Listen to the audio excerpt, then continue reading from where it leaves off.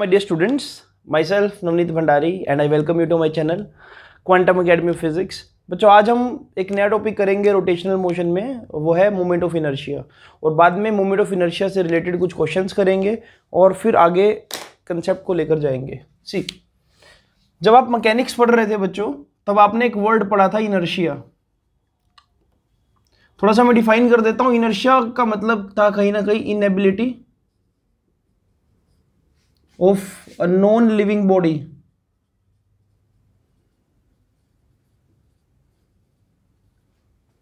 Right? It is inability of a non-living body. It cannot change its state of rest or motion or you can say direction also. State of rest state of motion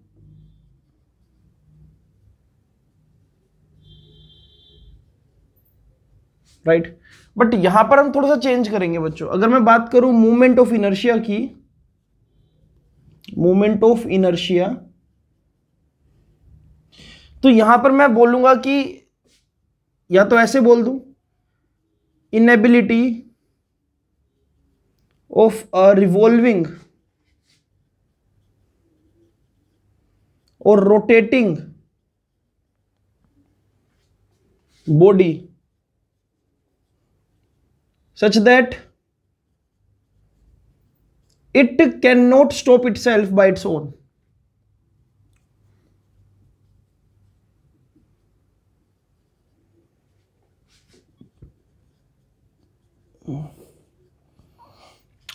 जैसे कि for example बच्चों, अगर मैं अर्थ की बात करूँ, अर्थ आज से करोड़ों साल पहले भी सन के अबाउट घूम रही थी, आज भी घूम रही है और शायद आज से सौ साल बाद भी घूमती रहेगी सन एक अर्थ एक नॉन लिविंग ऑब्जेक्ट है जिस पर बहुत सारे लिविंग क्रिएचर्स और नॉन लिविंग क्रिएचर्स एक साथ रह रहे हैं। पर अर्थ को अगर हमको रोकना है, अर्थ अपने आप घूमे जा रही है, घूमे जा रही है ऑर्बिट में, है ना?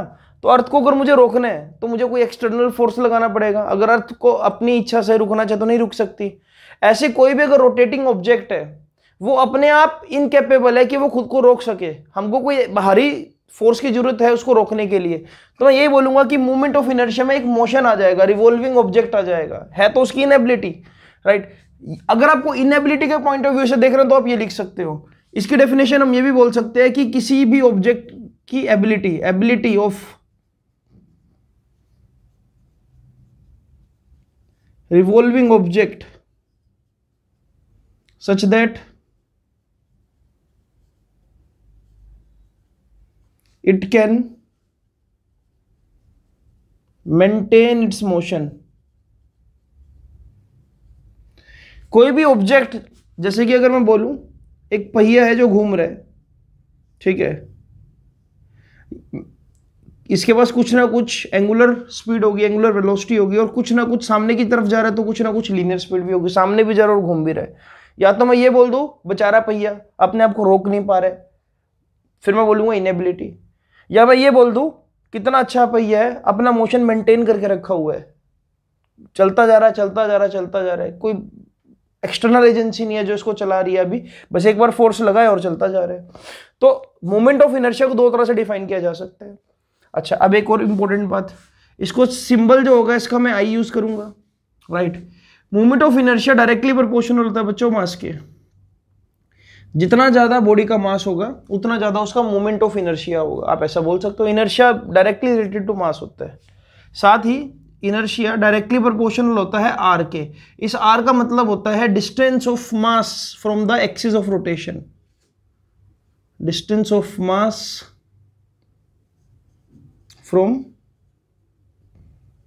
axis of rotation for example अच्छा directly proportional to R square लिखना चाहिए मुझे।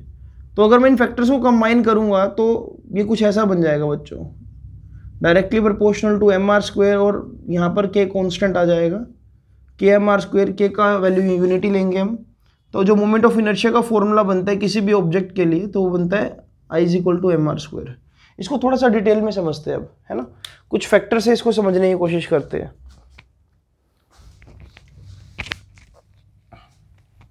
अगर मैं आपको ऐसा बोलूँ बच्चों आई होप अभी लिख चुके होंगे। अगर मैं आपको ऐसा बोलूँ कि हमारे पास दो टायर्स है। या दो रिवॉल्विंग बॉडीज है मेरे पास। इसका मास है फाइव के जी और एक और टायर है। इसका मास है three K G this is tyre A this is a tyre B अगर ये रिवॉल्व कर रहे हैं तो मैं ये बोलूँगा इनमें से अगर सेम फोर्स लगाया जाए इनको तो इनमें से पहले कौन रुकेगा? पहले ये रुक जाएगा। इसका मोमेंट ऑफ़ इनर्शिया कम होगा राइट right, तो मैं लिख रहा हूँ यहाँ पर inertia of B is less than inertia of A हाँ एक कंडीशन और ले रहा हूँ कि रेडियस ऑफ़ ए और रेडियस ऑफ़ बी सेम है यानी कि दोनों का रेडियस इक्वल है। यहाँ पर रेडियस को मैं ये भी बोल सकता हूँ कि देखो सारा का सारा जो मास है टायर्स का वो यहाँ पर है जिस पर है तो सेंटर जो एक्सिस ऑफ़ रोटेशन है, उससे सारा मास जो है वो रेडियस डिस्टेंस ही दूर है। इसलिए यहाँ पर इस बात को मैं रेडियस भी बोल सकता हूँ। सेम वे में अगर मैं आपको ऐसा बोलूँ कि एक छोटा टायर है और एक बड़ा टायर है, दोनों का मास किसी तरह से हमने चलो सेम ले लिया। मान लो ये भी फाइव के है और ये भी फाइव के है। बट हाँ इसकी जो रेडियस है वो थोड़ी सी कम है। टायर ए की रेडियस कम है टायर बी की रेडियस से। राइट तो अगर मैं बोलूँ कि टायर को हमने सेम फोर्स दिया, ज़्यादा दूर तक कौन जाएगा या गोंद घूमता रहेगा तो मैं बोलूँगा टायर भी घूमता रहेगा क्योंकि उसका जो रेडियस है या जितना भी मास है, उसका सेंट्रल एक्सिस है जिसके अबाउट बॉडी घूम रही है, उससे डिस्टेंस क्या ज़्यादा है। तो इस केस में inertia of B will be greater than moment of inertia of A right इस तरह से हम इनर्शिया को डिफाइन कर सकते हैं। फिर बात आती है कि क्या मोमेंट ऑफ़ इनर्शिया सिर्फ़ एक ही तरह का होता है? किस चीज़ पर डिपेंड करता है? देखो आप इसको नोट डाउन करो, फिर मैं इसको आगे फर्दर एलोबरेट करता हूँ और। चलो, अब मैं इसको और समझाने की कोशिश करता हूँ, बच्चों, आपको देखो। जो इनर्शिया है, वो डिपेंड करता है कि एक्सिस ऑफ़ रोटेशन आपने कहाँ पर लिया है। लिख देता हूँ I depends on axis of rotation अब ये एक्सिस ऑफ़ रोटेशन का मतलब भी जान लेते हैं एक बार, देखो। जैसे कि फॉर एग्ज़ाम्पल मेरे पास कोई भी रिंग है, बच्चों। इस रिंग को कई तरह से घुमाया जा सकता है। मान लो ये सेंटर है, इसको सेंटर के अबाउट घुमा सकता हूँ। जैसे कि आप इस नोटबुक के एग्ज़ाम्पल से समझो। इस नोटबुक को घुमाने के कई तरीके हैं। इसको मैं सेंटर से घुमा सकता हूँ ऐसे। इसको मैं यहाँ पर एक्सेस डालकर ऐसे घुमा सकता हूँ। इसके अबाउट इसको मैं डायगनली घुमा सकता हूँ। इसको मैं इस तरह से घुमा सकता हूँ। राइट इसको मैं ऐसे भी घुमा सकता हूँ। इसको मैं ऐसे भी घुमा सकता हूँ एक्सेस डाल के। इसको मैं ऐसे भी घुमा सकता हूँ। तो कहने का मतलब ये है, देखो, अगर इसको थोड़ा, मैं सभी तरह के एक्सेस बनाकर दिखाता हूँ आपको। मान लो कोई भी एक रैंडम रैंडमली शेप ले ली मैंने बॉडी की। अगर मैं यहाँ से एक्सिस ऐसे निकाल रहा हूँ राइट और बॉडी को ऐसे घुमा रहा हूँ इस तरह से ओमेगा वेलोसिटी से तो इसको बोल रहा हूँ ओमेगा इस पर्टिकुलर ऑब्जेक्ट को, जो शेप मैं ले रहा हूँ, कोई भी शेप इसको मैं बोलूँगा बच्चों प्लेन ऑफ़ रोटेशन यहाँ पर रेंडमली मैंने बहुत सारे पार्टिकल्स ले लिए एम मास के। जैसे कि ये एम वन हो गया, ये एम टू हो गया, ये एम थ्री हो गया, ये एम फोर हो गया, ये एम फाइव हो गया, ये एम सिक्स हो गया, ये एम सेवन हो गया M eight M nine centre से जो डिस्टेंस है, सभी पार्टिकल्स का अलग अलग है। जैसे कि एम वन के डिस्टेंस को मैं आर वन बोल दूँगा एम टू के डिस्टेंस को मैं आर टू बोल दूँगा एम थ्री के डिस्टेंस को मैं आर थ्री बोल दूँगा। एम फाइव के डिस्टेंस को एम फाइव बोल दूँ आर फाइव बोल दूँगा M six M seven M eight M nine तो इस तरह से जो इनर्शिया फॉर एम वन होगा, वो क्या लिखा जाएगा? M one R one square inertia for M two particle क्या लिखा जाएगा? M two R two square इससे ये पता लगता है कि अगर मैं एक इंडिविजुअल बॉडी की बात करूँ, उस बॉडी पे भी बहुत सारे पार्टिकल्स है। अगर मैं पार्टिकल वाइज देखूँ तो सभी पार्टिकल्स का जो मोमेंट ऑफ़ इनर्शिया है, वो अलग अलग है। है ना? समझ पा रहे हो इस बात को? यानी कि एक्चुअल में जो ये आर का मतलब है, इसका मतलब कभी भी रेडियस नहीं था। इसका मतलब ये था कि जो एक्सिस ऑफ़ रोटेशन है, जिसके अबाउट बॉडी घूम रही है, उससे वो पार्टिकल कितना दूरी पर है, वो ये पर्टिकुलर आर डिस्टेंस होता है, ठीक है? अब मैं आपको तरीका बता रहा हूँ, ठीक है? जिसके अबाउट बॉडी घूम रही है, इसको हम बोलते हैं बच्चों एक्सिस ऑफ़ रोटेशन है ना? अभी ये एक्सिस ऑफ़ रोटेशन बिल्कुल परपेंडिकुलरली सेंटर से पास हो रहा है। इसी एक्सिस ऑफ़ रोटेशन को मैं ऐसे भी बना सकता था। ऐसे भी बना सकता था इस जगह से, मान लो ऐसे। इसको भी मैं बोलूँगा कि ये किस, एक एज से अब ये केस इस केस में ये प्लेन ऑफ़ रोटेशन है, और ये यहाँ पर क्या बना दिया मैंने? एक्सिस ऑफ़ रोटेशन बना दिया, और बॉडी ऐसे घूम रही है, मान लो। अच्छा और कैसे बनाया जा सकता था इसको? इसको ऐसे भी बनाया जा सकता था। मान लो ये क्या मैंने कोई प्लेन ऑफ़ रोटेशन बना दिया, और अब मैंने टेंजेंशियली एक्सिस को पास कर दिया, जैसे कि पंखा होता था पहले। ऐसे, अब मान लो ऐसे घुमा रहा हूँ। राइट? तो अभी जो सभी पार्टिकल्स का डिस्टेंस लूँगा वो यहाँ से लूँगा। मान लो ये ये कोई पार्टिकल m1 हो गया ये कोई पार्टिकल m2 हो गया ये कोई m3 हो गया इसका डिस्टेंस r3 इसका r1 इसका r2 इस तरह से जो सेंटर एक्सेस और रोटेशन है उससे मैं डिस्टेंस को अलग अलग ले सकता हूँ। और क्या तरी, और भी बहुत सारे तरीके हैं जैसे कि फॉर एग्ज़ाम्पल अगर आप चाहो अगर जैसे कि मेरे पास स्क्वायर है स्क्वायर को घुमाने के कई तरीके हैं। यहाँ पर एक्सेस और रोटेशन बना तो ऐसे घूमेगा राइट स्क्वायर अगर मैं इसको डायगनली घुमाना चाहूँ तो ऐसे एक्सिस रोटेशन बना दो तो ये ऐसे फ्लिप करके घूमेगा। तो आई होप आपको ये बात समझ आ रही होगी। अब सभी केसेस में, जैसे आप एक्सिस ऑफ़ रोटेशन को चेंज कर देते हो, उससे बॉडी का मोमेंट ऑफ़ इनर्शिया भी चेंज हो जाता है। ठीक है? हो सकता है कि मैं जब सेंटर में से पास करूँ तो ज़्यादा तेज़ी से घूमे बॉडी हो सकता है यहाँ से पास करूँ तो थोड़ा सा कम तेज़ी से घूमे। हो सकता है यहाँ से थोड़ा सा और कम तेज़ी से घूमे। हो सकता है डायगनल के अबाउट कम तेज़ी से घूमे और अगर ऐसे घूमो तो ज़्यादा तेज़ी से घूमे। तो इन सभी फिगर्स का और सभी पोजिशन के लिए मूवमेंट ऑफ़ इनर्शिया कैलकुलेट भी करना सीखेंगे। ठीक है, अगली वीडियो में मैं आपको कैलकुलेट करना भी सिखाऊँगा कि कैसे मूवमेंट ऑफ़ इनर्शिया किसी भी बॉडी का कैलकुलेट करते हैं। अभी तो जस्ट मैं आपको टर्म समझा रहा हूँ। मोमेंट ऑफ़ इनर्शिया का मतलब क्या हुआ? एक बॉडी की एबिलिटी कि वो किस तरह से अपने मोशन को मेंटेन रख सकती है, अगर वो घूम रही है, या एक बॉडी की इन एबिलिटी कि वो अपने आप को रोक नहीं पा रही है, अगर वो घूम रही है राइट अब थोड़ा सा और आगे चलते हैं बच्चों। तो बेसिक सा जो फॉर्मूला बना मोमेंट ऑफ़ इनर्शिया का, वो यही बना कि I is equal to M R square और R का मतलब रेडियस तो बिल्कुल भी नहीं है राइट तो मैं लिख देता हूँ यहाँ पर it is M R square एक स्केलर क्वांटिटी है बच्चों ये। इसलिए मेंशन कर देता हूँ। इसकी जो एस आई यूनिट होगी एस आई यूनिट क्या आ रही है देखें?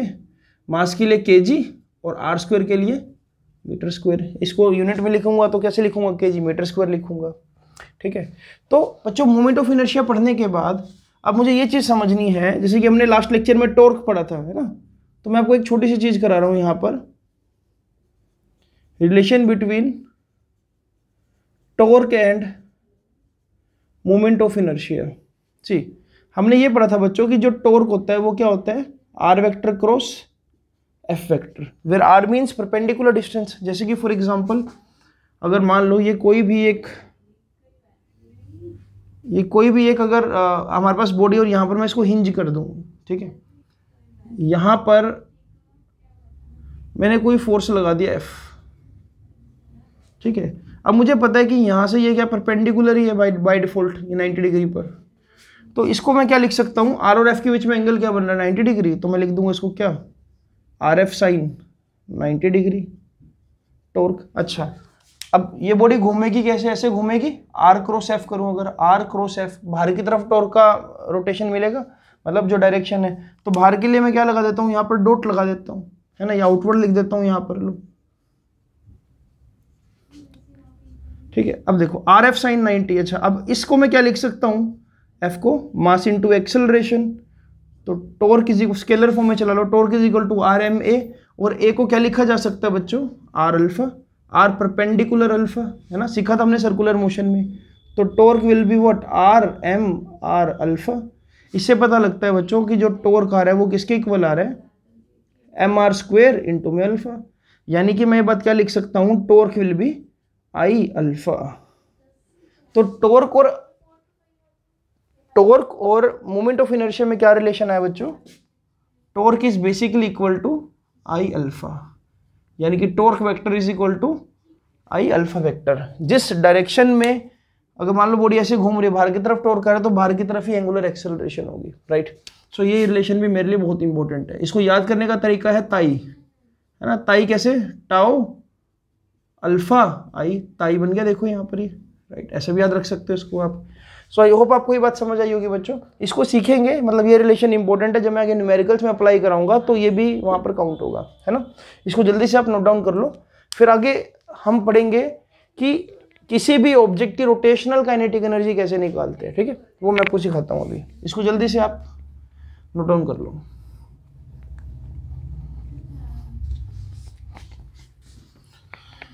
चलो, अब एक डेरिवेशन और करते हैं बच्चों।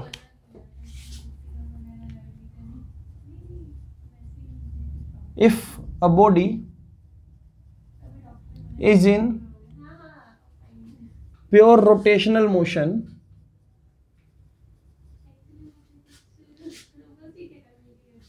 if a body is in pure rotational motion then drive expression for its kinetic energy ये कौन सी काइनेटिक एनर्जी है बच्चों? रोटेशनल काइनेटिक एनर्जी की बात कर रहा हूँ मैं राइट तो देखो, समझते इस चीज़ को। सपोज़ करो कोई बॉडी है जिसमें एन पार्टिकल्स है।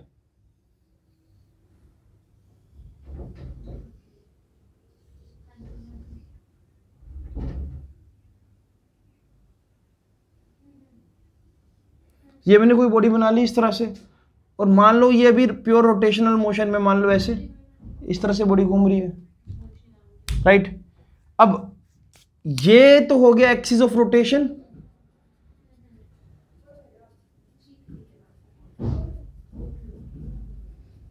ठीक है? और इसके अंदर बहुत सारे पार्टिकल्स हैं, जैसे कि एक पार्टिकल m1 बना रहा हूँ यहाँ पर, एक पार्टिकल m2 बना रहा हूँ यहाँ पर m3 बना दिया m4 बना दिया, ऐसे n पार्टिकल्स बना दिए, ठीक है? बहुत सारे पार्टिकल्स हैं, सभी को क्या मेंशन करना है यहाँ पर? तो ये यहाँ से जो डिस्टेंस होगा, इसको मैं क्या बोलूँगा आर वन यहाँ से जो होगा, इसको क्या बोलूँगा आर टू यहाँ से जो होगा, उसको क्या बोलूँगा आर थ्री यहाँ से जो होगा, उसको बोलूँगा आर फोर और यहाँ से जो होगा, उसको क्या बोलूँगा मैं आर एन ठीक है। अब एक चीज़ समझो जरा, अगर ये घूम रहे हैं तो इन सबके पास एक कॉमन ओमेगा होगा। कॉमन एंगुलर वेलोसिटी होगी बात हमने पढ़ी थी रोटेशनल मोशन के फ़र्स्ट डे बट इनके पास अनकॉमन लीनियर स्पीड होगी, जैसे कि इसकी लीनियर स्पीड सामने की तरफ़ ऐसे आएगी।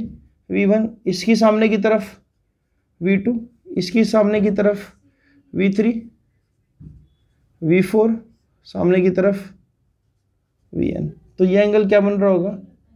90 डिग्री 90 डिग्री 90 डिग्री 90 डिग्री और ये भी 90 डिग्री, ठीक है? ऐसे एन पार्टिकल्स है, लेकिन मैंने कुछ सिलेक्टेड पार्टिकल्स दिखाया ताकि कोई ज़्यादा इसमें खराब ना हो, कुछ भी। अब सी यहाँ पर मैं क्या लिख सकता हूँ? लेट वी वन यहाँ पर लिख देता हूँ let a body consist N particles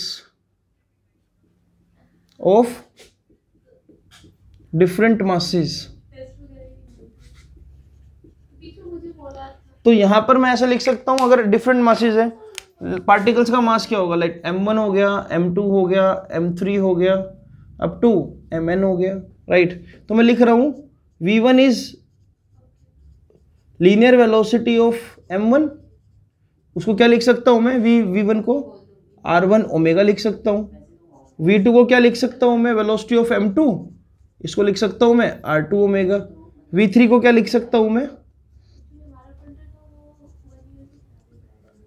are three omega अब ओमेगा सबके लिए सेम है, लेकिन वी वन अलग अलग है, ठीक है? और आर वन की वैल्यू भी अलग अलग है सबका, है ना? जो पार्टिकल ज़्यादा दूर होगा, उसका वी वेलोसिटी ज़्यादा होगा।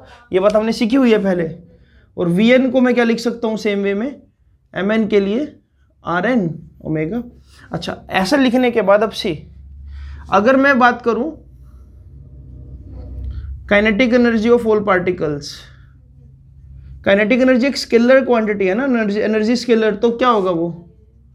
सभी का सम कर दूँ। E one plus E two plus E three up to E N E one का मतलब half M M one V one square half M two V two square half M three V three square up to half M N V N square इस तरह से मैं लिख सकता हूँ। अब देखो, क्योंकि V1 को लिखा जा सकता है R1 ओमेगा इसको अगर मैं थोड़ा सा और एलोबरेट करूँ, यहाँ पर आई होप ये कैमरा एंगल में आ रहा होगा। हाँ अब देखो मैं यहाँ पर इसको एलोबरेट कर रहा हूँ। ये पहली टर्म को मैं देखो यहाँ लिखूं अगर तो ये है half M one V one को क्या लिख दूँगा? R one omega square plus half M two R two omega square plus half M three R three omega square up to half M N R N omega square इस तरह से लिखा जा सकता है। अगर मैं इसको फर्दर ओपन करता हूँ तो देखो क्या बनने वाला है यहाँ पर। One by two next step इसको भी ऐसे स्टेप बाय स्टेप करना है आपने वन बाय टू इसको थोड़ा सा मैं क्लोज व्यू में व्यू में लेकर आता हूँ। देखो क्या लिखने वाला हूँ इसको मैं? वन बाय टू ये बन जाएगा M one R one square omega square plus one by two M two R two square omega square plus one by two M three R three square omega square up to one by two M N R N square omega square अब आप एक चीज़ notice करो यहाँ पर। ये जिनको मैं underline कर रहा हूँ, इनका एक अपना मीनिंग है M R one square M two R two square इसको मैं क्या लिख सकता हूँ? One by two I one omega square plus one by two M two R two square यानी कि आई टू इनर्शिया देखो मोमेंट ऑफ़ इनर्शिया का फॉर्मूला बन रहा है। Omega square plus one by two M three R three का square यानी कि आर थ्री आई थ्री का square sorry I three omega square up to one by two I N omega square इसमें से अगर कॉमन लूँ तो देखो क्या आ रहा है common one by two omega square common आ रहा है। समीशन किसका आ रहा है? आई एन का। और वैल्यू कैसे वेरी कर रही है? एन की वैल्यू वन से एन तक वेरी कर रही है। तो this will be your rotational kinetic energy for N particle system अब यहाँ पर अगर मैं किसी एक पार्टिकल की बात करूँ फॉर वन पार्टिकल अगर उसकी रोटेशनल काइनेटिक एनर्जी निकालनी है तो वो क्या होगी? साफ़ पता लग रहा है। वो होगी one by two I omega square. तो किसी भी ऑब्जेक्ट के पास अगर प्योर रोटेशन है प्योर रोटेशन का मतलब वो लीनियरली कहीं भी मूव नहीं कर रहा है, वो सिर्फ़ अपने एक्सिस पर ऐसे घूम रहा है, जैसे कि एक पंखा। उसका अगर मुझे पता लग जाए कि क्या उसकी काइनेटिक एनर्जी है तो वो रोटेशनल मोशन में ये होगी आई ओमेगा स्क्वायर। अगर लीनियर मोशन में काइनेटिक एनर्जी निकालता हूँ तो लीनियर मोशन के लिए होती है हाफ़ एम बी स्क्वायर ठीक है? तो मैंने यहाँ पर सभी पार्टिकल्स को पहले लीनियरली कंसिडर किया कि उनके पास वी वन वेलोसिटी भी एक टेंजेंशियल वेलोसिटी इसको बोलते हैं हम, और बाद में इसको कन्वर्ट करके यहाँ तक ले आया। आई होप आपको डेरिवेशन समझ आई होगी बच्चों। इसको नोट डाउन कर लो, फिर हम आगे चलते हैं इससे। तो बच्चों, अब एक और चीज़ समझते हैं, एक टर्म है रेडियस ऑफ़ जायरेशन ये रेडियस ऑफ़ जायरेशन क्या होता है? सी अगर मेरे पास एक बॉडी है और उसके अंदर टोटल पाँच पार्टिकल्स है, ठीक है? मैं उस बॉडी को रोटेट कर रहा हूँ। जैसे कि आप एक एग्जांपल देख पा रहे हो यहाँ पर। मैंने एक बॉडी ली और एक एक्सिस ऑफ़ रोटेशन को फिक्स कर दिया। अब ये बॉडी जो रोटेट कर रही है, इसमें एक एम वन पार्टिकल है, एक एम टू है, एक एम थ्री है, एक एम फोर है और ऐसे चलो एन पार्टिकल्स है इसके अंदर। Distance R one R two R three R four and R N अब अगर सी पहले मैं आपको थोड़ा सा क्लियर करता हूँ। अगर मैं इस बॉडी का total moment of inertia calculate करना चाहूँ तो मुझे क्या करना पड़ेगा? M one R one square plus M two R two square plus M three R three square plus M four R four square up to M N R N square ठीक है? ऐसा करना पड़ेगा। ठीक है। तो ऐसा करके अगर मैं आपको ये बोल दूँ कि let body have N identical masses तो इसका मतलब इसके पास n पार्टिकल्स है और उनका मास क्या है? स्मॉल एम तो मैं ये बोल दूँ कि ये क्या हो जाएगा? M R one square plus M R two square plus M R three square up to M R N square mass common ले लो, अंदर क्या बचेगा? R R one square plus R two square plus R three square up to R N square. किसके equal आ गया? Total inertia के equal अच्छा यहाँ पर एक्चुअल में अगर देखा जाए तो एम को मैं ये बोल सकता हूँ इसके अंदर जो एम पार्टिकल्स है एन टाइम्स है। तो यहाँ पर इसको मुझे स्मॉल एम की वजह ऐसे लिखना चाहिए ना कि एन पार्टिकल्स और कितने एन पार्टिकल्स एम मास के। तो ये बनेगा ना टोटल मास देखो एन इंटू एम मतलब मान लो यहाँ पर अगर पाँच पार्टिकल्स होते, पाँच पाँच के जी के। तो मैं ये बोलता पाँच इंटू पाँच टोटल मास पच्चीस के जी है। तो ये बात ऐसी लिखी जा सकती है। M R one square plus R two square plus R three square up to R N square अब समझो जरा डेफिनेशन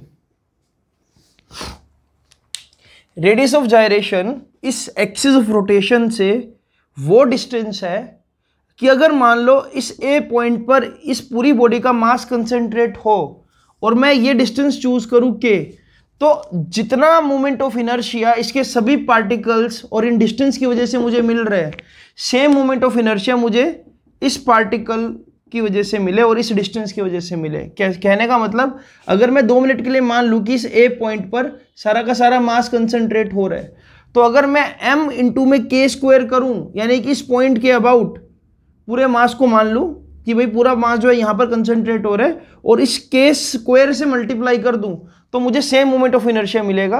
अगर ये पर्टिकुलर जो डिस्टेंस है, ये रेडियस ऑफ़ जायरेशन हुआ। या ऐसा मैं बोलूँ रेडियस ऑफ़ जायरेशन वो डिस्टेंस है, अगर मैं इस ओ से लेकर ए तक रेडियस ऑफ़ जायरेशन कंसिडर कर रहा हूँ कि ये रेडियस ऑफ़ जायरेशन है तो इसका मतलब ए पॉइंट पर बॉडी का सारा मास कंसंट्रेट हो रहा है।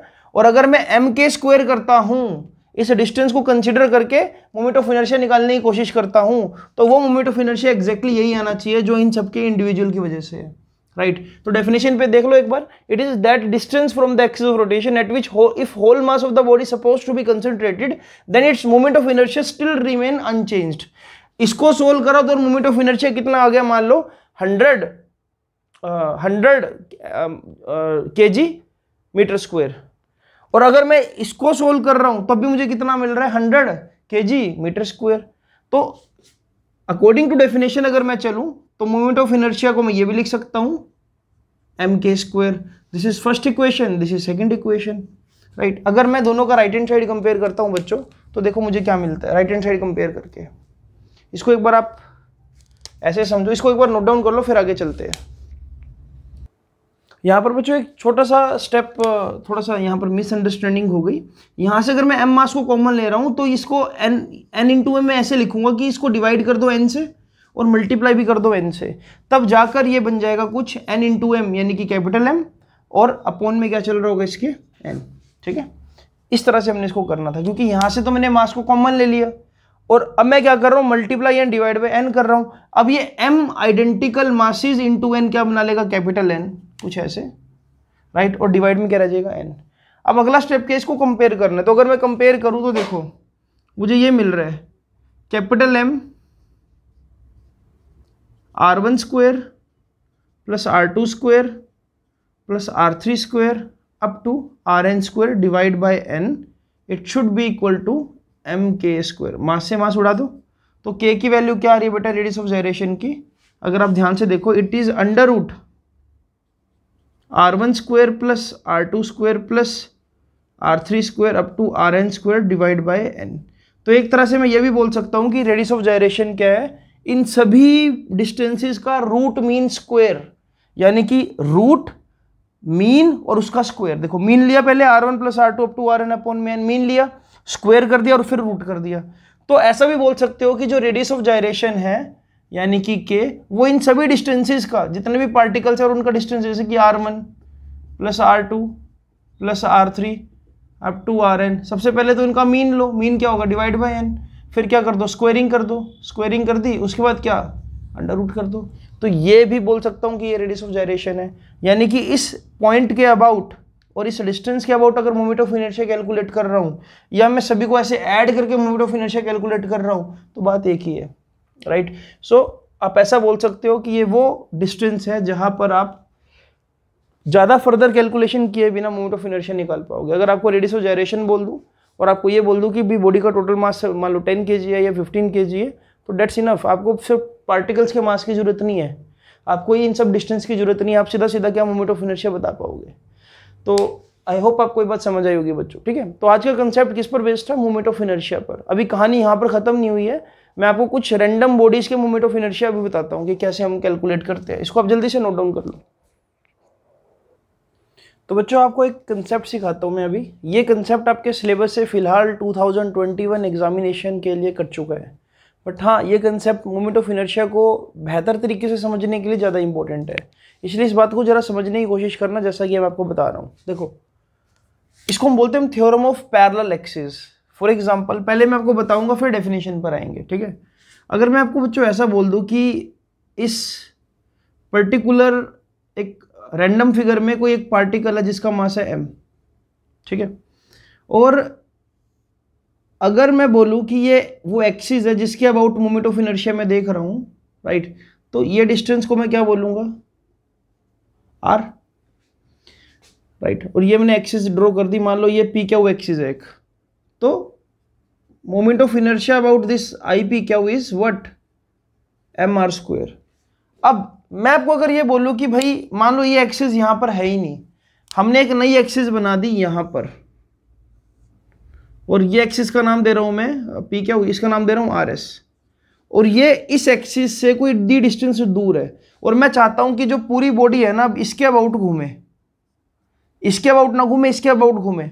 तो according to parallel axis theorem अगर मैं कोई भी एक्सिस किसी पुरानी एक्सिस के पैरल में ड्रॉ कर रहा हूँ तो उसके अबाउट जो मूवमेंट ऑफ़ इनर्शिया होगा, यानी कि अगर मैं movement of inertia about I R S निकालना चाहता हूँ तो वो किसके इक्वल होगा? आई पी क्यू यानी कि इसके about movement of inertia plus mass into में वो डिस्टेंस जितना दूर मैंने उस एक्सिस से मोमेंट ऑफ़ इनर्शिया निकालना चाहिए यानी कि एम डी स्क्वायर इसको मैं एक एग्जांपल से और समझाना चाहूँगा आपको, ताकि आपको थोड़ी सा और क्लैरिटी आए। जैसे कि फॉर एग्जांपल बच्चों डेफिनेशन बाद में पढ़ेंगे, पहले एक बार कंसेप्ट सीखेंगे। अगर एक रिंग की बात करूँ अबाउट सेंटर एग्जैक्ट सेंटर की बात करूँ सेंटर को मैं बोल रहा हूँ, मान लो सी सी डैश अगर सेंटर के अबाउट किसी रिंग को मैं घुमाता हूँ तो रिंग का अबाउट सी सी डैश जो मूवमेंट ऑफ़ इनर्शिया होता है बच्चों, वो होता है एम आर स्क्वेयर ठीक है? अब मैंने क्या किया बेटा एक्सिस यहाँ पर ड्रॉ कर दी टेंजेंट मतलब परपेंडिकुलरली ड्रॉ कर दी एक्सिस ऑफ़ रोटेशन के। मैं चाहता हूँ कि ये बॉडी ना सारी की सारी इसके अबाउट ना घूमे, अब इसके अबाउट घूमे। मान लो ये पीपी डैश नाम दे दिया मैंने इसको। मैं चाहता हूँ कि ये बॉडी ना ये अब ऐसे घूमे इस तरह से। तो what will be movement of inertia about I P P dash ये डिस्टेंस कितना होगा बच्चों? ये डिस्टेंस आर ही तो होगा रेडियस है ना? तो आई पी पी डैश का मतलब क्या होगा? आई सी सी डैश जैसे कि यहाँ पर क्या था? जिस एक्सिस के अबाउट पहले था प्लस टोटल मास इनटू में दोनों पैरेलल एक्सिस के बीच का डिस्टेंस यानी कि एम आर स्क्वायर राइट तो इस तरह से क्या मैं मूवमेंट ऑफ़ इनर्शिया निकाल पाऊँगा, कितना आ जाएगा इसके अबाउट? इसके अबाउट जो मूवमेंट ऑफ़ इनर्शिया आएगा, इसके अबाउट कितना था? एम आर स्क्वायर मतलब कैपिटल आर लेता हूँ यहाँ पर, है ना? यहाँ पर क्या लिखूँगा? M R square plus M R square यानी कि कितना हो जाएगा ये? टू एम आर स्क्वायर तो पैरल एक्सिस का मतलब ये होता है बच्चों, जैसे कि फॉर एग्जांपल मैं अभी इसको सेंटर से घुमाना चाह रहा हूँ कुछ ऐसे। सपोज़ मैंने इसको ऐसे घुमा दिया ये। नाउ इस तरह से। तो यानी कि ये भी सेंट्रल एक्सिस के अबाउट बॉडी घूम रही है। अब मान लो इसके अबाउट मोमेंट ऑफ़ इनर्शिया है एम आर स्क्वायर अब मैंने क्या किया, यही एक्सिस को यहाँ से हटाया और यहाँ पर इसको ऐसे घुमाना स्टार्ट कर दिया। अब मुझे पता है कि पुराने वाले एक्सिस के, ये वाला एक्सिस क्या पैरल ही तो है? तो ये डिस्टेंस अगर मान लो डी है तो अबाउट दिस एक्सिस जो मोमेंट ऑफ़ इनर्शिया होगा, वो क्या होगा? M R square plus M D square समझ पाए इस बात को? तो इस तरह से पैरल एक्सिस थ्योरम वर्क करती है। देखो, अगर इसको मैं पढ़ूँ, इसका मीनिंग समझने की कोशिश करूँ तो moment of inertia about a body about any axis किसी भी एक्सिस पर, अगर मान लो, ये एक्सिस मैं यहाँ पर ऐसे बनाता, ये बिल्कुल यहाँ पर बना देता, और ये डिस्टेंस मान लो कोई वाई डिस्टेंस होता तो मैं इस बात को ये लिखता I P Q plus M Y square अगर ये डिस्टेंस बिल्कुल यहाँ पर ऐसे बनाता और ये डिस्टेंस कितना जेड होता तो मैं बोलता I P Q plus M Z square ठीक है? तो इस तरह से पैरल एक्सिस को देखा जाता है। तो moment of inertia of a body about any axis equal to moment of inertia about a parallel axis through its center of mass plus the product of mass and the square of the perpendicular distance between two parallel axes जैसे कि इसका जो centre of mass था centre में था, इसका centre of mass अच्छा ये चीज़ भी इंपॉर्टेंट है कि पहले अगर मैं सेंटर ऑफ़ मास के अबाउट देख रहा हूँ, जैसे कि इसका सेंटर ऑफ़ मास के अबाउट जो मोमेंट ऑफ़ इनर्शिया वो कितना है? एम आर स्क्वायर तो अगर मान लो मैं इसको सपोज़ ऐसे घुमाना चाहता तो सेंटर ऑफ़ मास से ये दूरी कितनी है मान लो डी तो इसका मोमेंट ऑफ़ इनर्शिया कितना होता है? M R square plus M D square इसी तरह से अगर मैं यहाँ पर एक्सिस ड्रॉ करता हूँ और ये डिस्टेंस होता है वाई तो मैं बोलता M R square plus M Y square so this is how theorem of parallel axis work ऐसे ही हमारे पास एक और थ्योरम है जिसको बोलते हैं हम थ्योरम ऑफ़ परपेंडिकुलर एक्सिस वो भी मैं आपको सिखाता हूँ। इसको जल्दी से नोट डाउन कर लो। सिलेबस का पार्ट नहीं है फ़िलहाल ये। बच्चों, आपको एक और कंसेप्ट सिखाता हूँ। पहले सिखाऊँगा, फिर बताऊँगा कि इसका मीनिंग क्या है, ठीक है? सपोज़ बच्चों, मैं आपको ऐसा बोलूँ अगर कि किसी भी रिंग अच्छा रिंग को ऐसा बनाता हूँ थोड़ा सा मैं। किसी भी रिंग के सेंटर का, मुझे पता है कि सेंटर से अगर एक्सिस को पास करूँ तो जो मूवमेंट ऑफ़ इनर्शिया होता है अबाउट दिस एक्सिस मान लो ये एक्सिस मेरा क्या है? जेड जेड डैश ये एक्सिस के अबाउट जो मूवमेंट ऑफ़ इनर्शिया वो क्या है? आई एम आर स्क्वायर हाँ मुझे इतना तो पता लग गया ना, अगर एक्सिस को मैं ऐसे बना दूँगा तो नया मूवमेंट ऑफ़ इनर्शिया क्या होगा? एम आर स्क्वायर मतलब I Z Z Z dash plus M R square है ना? वो तो मैं निकाल दूँगा। अगर मुझे ऐसे निकालना हो, चलो मैं बनाकर दिखाई देता हूँ। मान लो ये वाई वाई डैश एक्सिस है कोई। तो आई वाई वाई डैश के मोमेंट ऑफ़ इनर्शिया क्या होगा? एम आर स्क्वेयर तो जो पहले से ही है प्लस ये सेंटर ऑफ़ मास से लेकर यहाँ तक का डिस्टेंस का स्क्वेयर और मास एम आर स्क्वेयर ऐसा भी बोल सकता हूँ। लेकिन इस बार क्वेश्चन ये नहीं है कि मुझे इसके अबाउट निकालना है। मुझे निकालना है अबाउट डायमीटर अगर इस डिस्क को अबाउट डायमीटर घुमाऊँ तो क्या मोमेंट ऑफ़ इनर्शिया होगा? तो डायमीटर के अबाउट निकालना चाह रहा हूँ मैं। ये जेड है तो मान लो ये क्या एक्स एक्स डैश एक्सिस अब एक काम करते हैं, एक और एक्सिस बना लेता हूँ मैं यहाँ पर। एक और डायमीटर ड्रॉ कर लेता हूँ। ये हो जाएगा वाई वाई डैश अब सुनो, जितना moment of inertia about this diameter होगा वाई वाई डैश उतना ही मोमेंट ऑफ़ इनर्शिया क्या अबाउट दिस डायमीटर होगा? एक्स एक्स डैश कहने का मतलब अब सर्कुलर ऑब्जेक्ट मेरे पास इस वक्त कोई नहीं है बट लेट मी सी कि मेरे आसपास क्या है। चलो मैं कोई स्क्वायर ऑब्जेक्ट मिल जाए या तो मुझे। ठीक है, चलो कोई बात नहीं। सपोज़ हमारे पास कोई राउंड ऑब्जेक्ट है। अगर मैं उसको इस ऐसे डायमेट्रिकली घुमाऊँ या ऐसे डायमेट्रिकली घुमाऊँ, बात तो एक ही है। मोमेंट ऑफ़ इनर्शिया तो वही रहेगा। तो मैं आपको ये बोलना चाह रहा हूँ कि परपेंडिकुलर एक्सिस थ्योरम ये बोलती है कि देखो, अगर सेंट्रल एक्सिस जो है आई जेड जेड डैश है तो सेंट्रल एक्सिस इस पॉइंट पर एक तो इंटरसेक्ट कर रहा है बाकी दोनों एक्सिस को, और ऊपर से म्यूचुअली परपेंडिकुलर भी है, देखो। ये एंगल 90 डिग्री बन रहा है। तीनों एक्सिस के बीच में, एक जेड एक्सिस में, एक वाई एक्सिस में तो एक एक्स एक्सिस में। तो according to perpendicular axis theorem अगर आपको एक ही लेमिना पे ये सिचुएशन मिल जाए कि आपको सेंट्रल एक्सिस के थ्रू पता है, और आपको उसके परपेंडिकुलर एक्सिस दे दिए दो अलग से मतलब जो उसके म्यूचुअली परपेंडिकुलर हो, जैसे जैसे कि अगर आपको about Z Z Z Z X dash axis के अबाउट मोमेंट ऑफ़ इनर्शिया पता है। लेकिन मैं जानना चाह रहा हूँ एक्स एक्स डैश के अबाउट क्या होगा? और एक और परपेंडिकुलर एक्सिस बना दिया वाई वाई डैश के अबाउट क्या होगा? तो ऐसी सिचुएशन में आप ये लिख सकते हो कि moment of inertia about I Z Z it should be equal to I X X plus I Y Y but ultimately ये दोनों का मतलब तो एक ही है। तो आई एक्स एक्स को दो बार लिख दूँ मैं ऐसे ये किसके इक्वल होगा? I Z Z divide by two और आई जेड जेड के अबाउट कितना है? एम आर स्क्वायर तो यानी कि अगर मैं इसको डायमीटर के अबाउट घुमाता हूँ रिंग को डायमीटर के अबाउट फ्लिप करके घुमाता हूँ तो जो नया मोमेंट ऑफ़ इनर्शिया आएगा बच्चों, वो क्या आएगा? M R square by two ये मैं आपको बोलना चाह रहा हूँ। इसको अगर आप थियोरटिकली समझना चाहो तो देखो इसका ये मीनिंग होगा कि किसी भी प्लेन लेमिना में अगर एक एक्सिस परपेंडिकुलर टू प्लेन है और आपको मोमेंट ऑफ़ इनर्शिया निकालना है, मान लो जैसे कि आई जेड का आपको, इसके एक्सिस के अबाउट आपको मोमेंट ऑफ़ इनर्शिया निकालना है। लेकिन आपको ये पता है कि उसी एक्सिस में मतलब उसी प्लेन में एक और एक्सिस के अबाउट मोमेंट ऑफ़ इनर्शिया आपको पता है। मान लो इस एक्सिस के अबाउट की क्या होगा?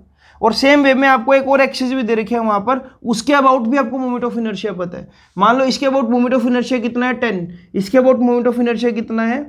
ट्वेंटी फाइव तो अगर ये दोनों आपस में परपेंडिकुलर है तो सेंट्रल पॉइंट पर अगर मैं कोई भी एक्सिस ड्रॉ कर दूँ तो उसका मोमेंट ऑफ़ इनर्शिया इन दोनों के इनर्शिया के क्या होगा? सम के इक्वल होगा।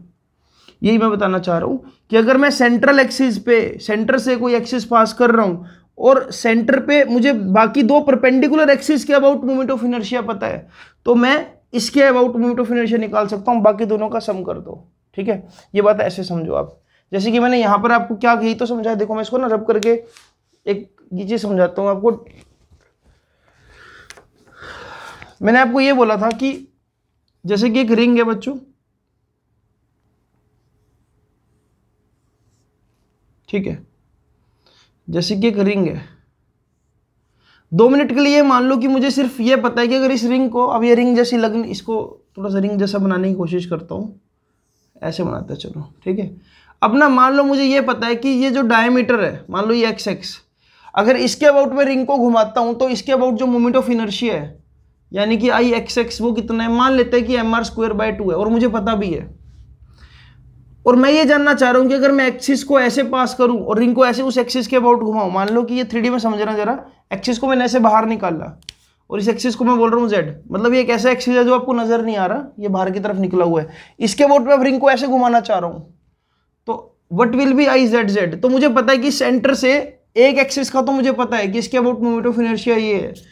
और बाय डिफ़ॉल्ट मैं ये भी बोल सकता हूँ कि एक एक और लो, एक और परपेंडिकुलर एक्सिस में बना देता हूँ, यहाँ पर वाई वाई डैश अब है तो ये भी डायमीटर तो आई वाई वाई डैश के अबाउट भी जो मोमेंट ऑफ़ इनर्शिया वो क्या होगा? M R square by two तो अब सेंट्रल एक्सिस जो बाहर की तरफ़ निकल रही है इसका जो मोमेंट ऑफ़ इनर्शिया होगा वो इसी बॉडी के दोनों परपेंडिकुलर एक्सिस के सम के इक्वल होगा। सब आ, दोनों परपेंडिकुलर एक्सिस के मोमेंट ऑफ़ इनर्शिया के सम के इक्वल होगा। यानी कि I X X plus I Y Y ये हो जाएगा कितना? M R square by two plus M R square by two और जब मैं इनको ऐड करूँगा तो बेटा इसके अबाउट जो मोमेंट ऑफ़ इनर्शिया आएगा, वो कितना आएगा? M R square right so this is what I am trying to say तो ये होती है परपेंडिकुलर एक्सिस थ्योरम ठीक है? सिलेबस में से ये अभी फ़िलहाल तौर पे कट चुकी है बट हाँ मेरा फ़र्ज़ था आपको समझाना। कल को आप, आपको ताकि पता हो कि डायमीटर के अबाउट कैसे निकालते हैं टेंजेंट के अबाउट कैसे निकालते हैं, ठीक है? तो इस लेक्चर को यहीं पे वाइंड अप करते हैं। अगला जो लेक्चर रहेगा, उसमें भी मैं आपको मोमेंट ऑफ़ इनर्शिया के बारे में और थोड़ा दिलचस्प बातें बताऊँगा और आपको फिर एंगुलर मोमेंटम का कंसेप्ट सिखाऊँगा कि कैसे हम एंगुलर मोमेंटम बॉडी का निकालते हैं। तो रोटेशनल मोशन एक अलग तरह का मतलब चैप्टर है, जिसमें आपको सर्कुलर मोशन की अच्छी समझ होनी चाहिए। मतलब जो भी अब तक आप पढ़कर आए हो सर्कुलर प्लस मैकेनिक्स वो सारा का सारा इस चैप्टर में यूज़ होगा। ठीक है बच्चों? तो इतना ही करते हैं। अगली वीडियो में हम आपको एंगुलर मोमेंटम सिखाएँगे और रिलेशन जानेंगे कि मूवमेंट ऑफ़ इनर्शिया का एंगुलर मोमेंटम के साथ क्या रिलेशन है। So thank you for watching this